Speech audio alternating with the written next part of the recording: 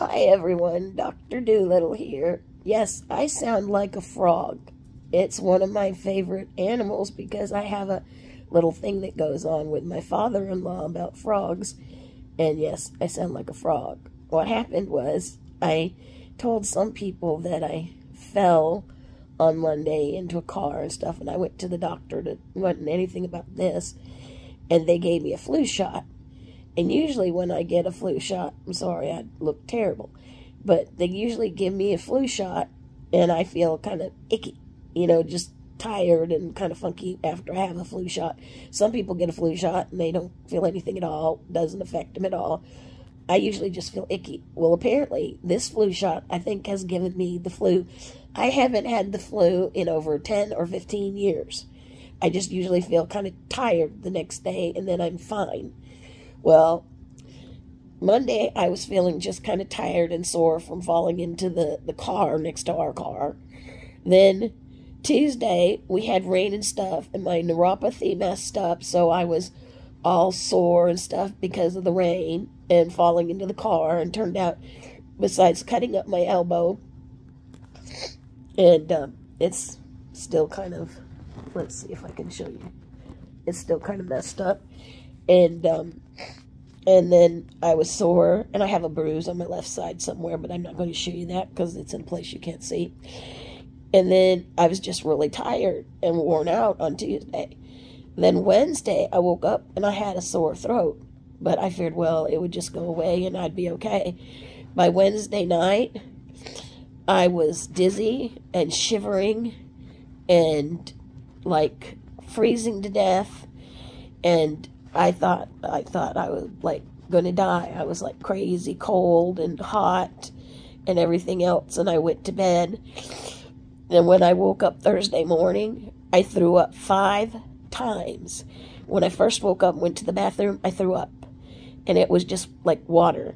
And then I took my pills and thank God I didn't throw my pills. I have to take medicine every day. Like 10 or 15 minutes after I took my pills, I threw up water again and then I thought, well, maybe I'd take some Pepto Bismol to settle my stomach. And we have chewable Pepto Bismol. and it tastes funky, so I always drink a little water after I do that. Well, 15, 20 minutes after I took the Pepto Bismol, I threw up a bunch of pink junk. And then, oh, a couple hours later, I threw up what looked to be what I'd ate the night before, which was macaroni and cheese. And then later in the day, I threw up some more water and some stuff. I didn't eat all day Thursday. I had thrown up like a total of five times. And at first, my blood sugar was really high. It was like 300 and something. And then it just kept going down finally. And it was 83 last night, and it was 83 this morning. And between Monday and this morning, I've lost three pounds, which I don't mind losing the three pounds. But my nose is all stuffed up and my throat isn't really sore, but I can't talk and I'm coughing a little bit. So it's just mostly kind of in my throat and my sinuses right now.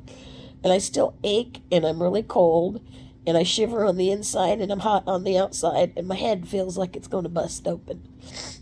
Terry got some NyQuil medicine from the store and I took some last night and it knocked me out and I slept till about 11:30 this morning. And so that thing it just knocked me out. Well, I'd woke up a couple of times, and then I took some at four o'clock and slept till eleven thirty. So your little Doctor Doolittle is sick and could use some prayers because she's just not feeling good.